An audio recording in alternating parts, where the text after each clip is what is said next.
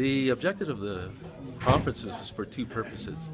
Uh, first and most importantly was this, the idea of positive relationships with government, industry, and business with First Nations lends itself to success uh, for everybody in Saskatchewan.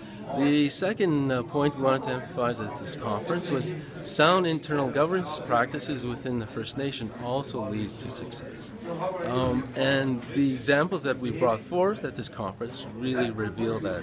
And that's how we kind of wanted to impress upon our delegates that in order to move forward, uh, all parties, again, government, business, industry, uh, must work together properly, and that First Nations should establish sound governance practices in order to be successful. Over the course of the last 30 years, I've worked in Manitoba, Saskatchewan, Alberta, and have done much work with First Nations in uh, Brandon, Manitoba, and then uh, Cold Lake, Alberta. Particular, uh, you know, highlight is the uh, city of Cold Lake, Alberta, where we had a partnership with Cold Lake First Nations, DND, uh, the Air Force Base, and the neighboring RM. Uh, we together we owned and operated a water treatment facility and wastewater treatment facility.